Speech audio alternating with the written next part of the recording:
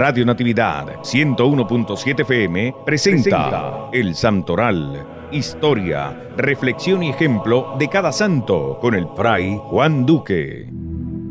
Aprovecharemos la ocasión y el inicio del mes de febrero para contarles sobre tres grandes ideales de santidad, San Raúl, Santa Egma y Santa Alicia.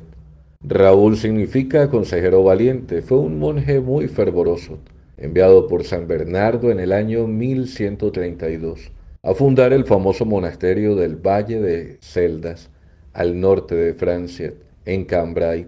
Allí estuvo de superior por 20 años y con sus monjes se dedicó a la oración, a la lectura de los libros sagrados y a enseñar a los campesinos a cultivar técnicamente los campos recomendaba que las dos oraciones que más debemos repetir son el miserere, Señor ten piedad, perdón Señor que soy un pecador y aleluya junto con el Te Deum. Santa Egma de Inglaterra. Egma significa mujer fuerte. Era esposa de Ricardo sin miedo, jefe de Normandía.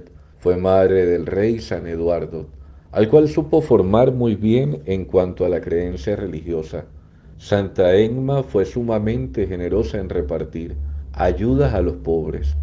De ella pudo decir su santo hijo, la única tristeza que nos produjo en toda su vida fue haberse muerto.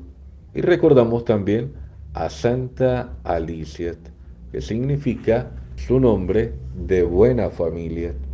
Nació en el año 400 y desde los 20 años hasta su muerte se dedicó a asistir a los enfermos, a ayudarles a soportar con paciencia y por amor a Dios sus dolores. Su más grande deseo era obtener que Cristo le dijera el día del juicio aquello que él prometió, que les diría a los que atienden bien a los enfermos, estuve enfermo y me atendiste.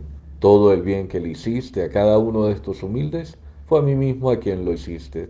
Vengan al reino preparado por mi Padre desde el principio de los siglos. San Raúl, Santa Egma y Santa Alicia, rogad a Dios por nosotros.